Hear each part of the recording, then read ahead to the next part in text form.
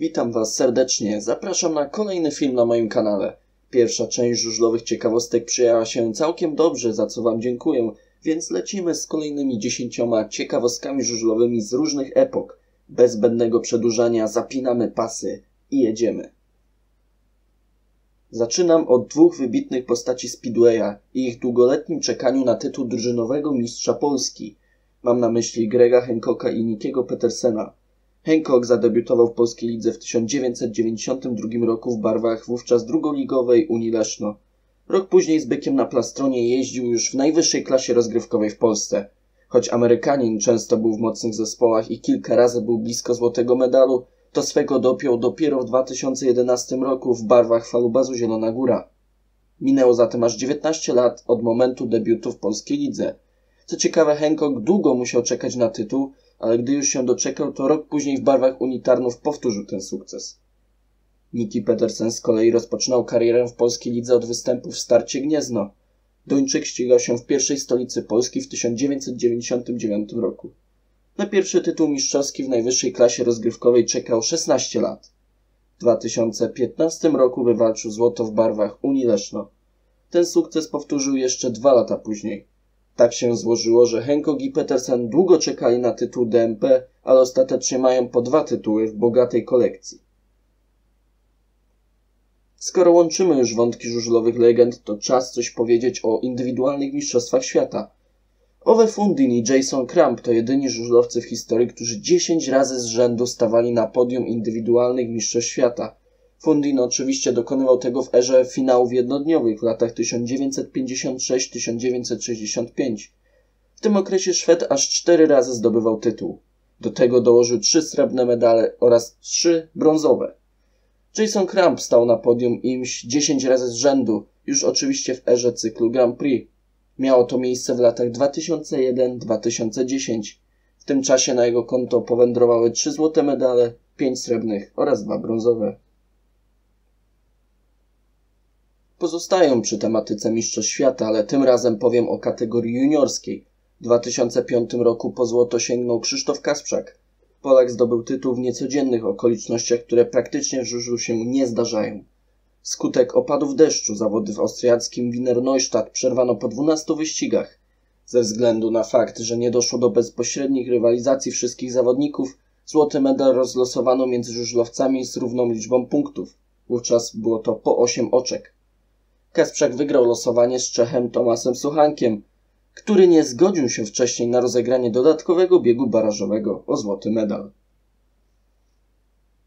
Skoro już poruszyłem temat Krzysztofa Kasprzaka, to chciałbym wrócić do pewnego okresu transferowego. Mowa dokładnie o okienku po sezonie 2009. Unia Tarnów oraz Unia Leszno dość niespodziewanie wymieniły się zawodnikami. Kasprzak trafił do Tarnowa opuszczając macierzysty klub, a to samo zrobił Kołodziej, tylko on oczywiście powędrował do Leszna.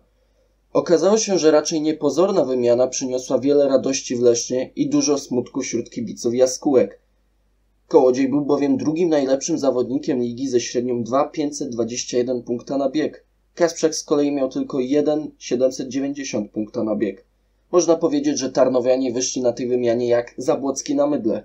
Ostatecznie Kasprzak pojeździł z jaskółką na plastronie jeszcze rok, po czym odszedł, a na sezon 2012 po dwuletnim rozbracie powrócił Kołodziej.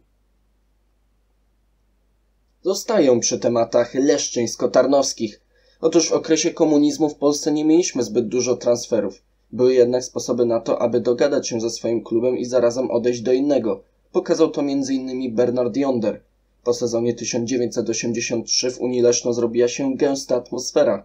Drużynie było sporo świetnych zawodników i jej wieloletni lider Bernard Jonder poczuł, że musi zmienić otoczenie. Miał ofertę przejścia ligę niżej do unitarnów. Co zrobił Jonder? Przekonał kierownika drużyny z Leszna, że klub wyjdzie na tym dobrze. Zwolni się jedno miejsce w składzie, Unia Tarnów opłaci swojej imienniczce z Leszna dwa obozy przygotowawcze do sezonu. Leszczynianie niechętnie, ale ostatecznie się zgodzili. Andrzej Huszcza był przed laty doskonałym żużlowcem, ale lubił z kolegami także pożartować. W 1985 roku był mocno obsadzony turniej w Gorzowie. Jedną z nagród za zajęcie miejsca na podium był pocałunek ówczesnej Miss Polonia, Katarzyny Zawickiej. Spośród zawodników falubazu na zawody wybierał się właśnie Huszcza, Maciej Jaworek i Jan Krzystyniak. W trakcie podróży na turniej panowie ustalali na kogo jadą podczas wyścigów i kto zarazem ma największe szanse na podium. Huszcza cały czas żartobliwie upierał się, że to jemu trzeba oddawać punkty. W trakcie drogi do Gorzowa zawodnicy nie doszli do porozumienia, ale turniej każdemu wyszedł wspaniale. Cała trójka stanęła na podium i panowie wracali do Zielonej Góry usatysfakcjonowani. Hans Andersen mógł zostać pierwszym zawodnikiem w historii Grand Prix, który jako rezerwowy cyklu zdobędzie medal. W 2006 roku Duńczyk w piątej rundzie jechał z dziką kartą i na torze w Kopenhadze zwyciężył. Kolejnych turniejach zastępował kontuzjowanego Tonego Rickardsona. Efekt? Po turnieju w Kopenhadze zajął kolejno drugie miejsce w Lonigo, trzecie w Molili oraz pierwsze w Pradze. Przez ten czas Duńczyk zgromadził w klasyfikacji generalnej 88 punktów i nagle włączył się do walki o medale. Do trzeciego Lee Adamsa tracił 4 punkty, a do drugiego Grega Hancocka 11 oczek. Po czterech wspaniałych występach cyklu Grand Prix przyszedł czas na turniej w Daugavpils. Tam Andersen miał awarię najlepszego silnika i później nie mógł się dopasować do toru. Podczas turnieju na Łotwie duński zawodnik uzbierał tylko 4 punkty i stracił historyczną szansę na medal. W ostatniej rundzie Grand Prix w sezonie w Bydgoszczy zainkasował 9 punktów i ostatecznie zakończył cały cykl na szóstej pozycji, co i tak było nie lada wyczynem. Wracamy do polskich klimatów. Tomasz Golob dokonywał w swojej karierze rzeczy niesamowitych. Niektórzy o tym nie pamiętają, ale legendarny zawodnik jest jednocześnie pierwszym zwycięzcą rundy Grand Prix na torze stałym, ale także na torze tymczasowym.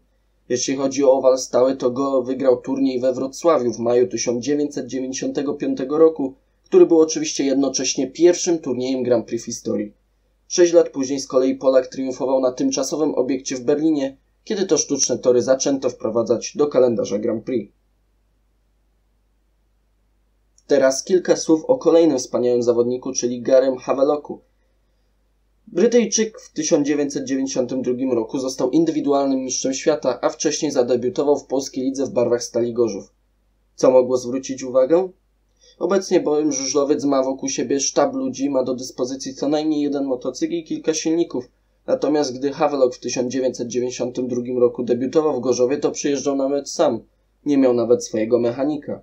Jerzy Sunowiec, ówczesny prezes Stali, opowiadał, że gdy raz z kolegą odbierał go z lotniska, to Brytyjczyk miał na ramieniu zawieszoną torbę, a na szyi oponę. Co istotne, sporo zawodników z takim ekwipunkiem przyjeżdżało do Polski. Dziś takie sytuacje są nie do pomyślenia. I na koniec tego zbioru ciekawostek spojrzał na końcówkę lat 80.